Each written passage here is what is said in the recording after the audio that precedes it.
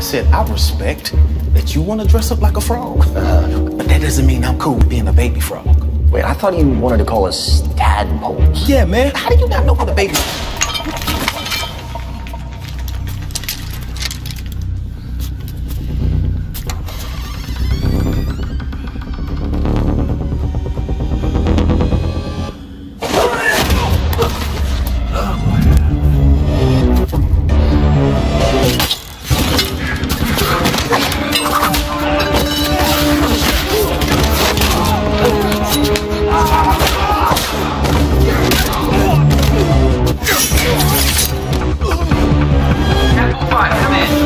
Meet me back up at the rear entrance.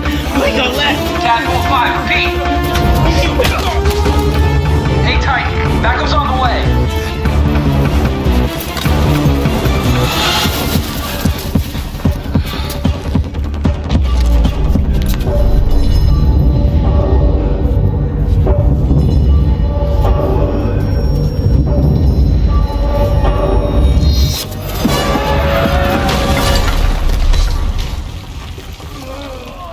She Hulk smash.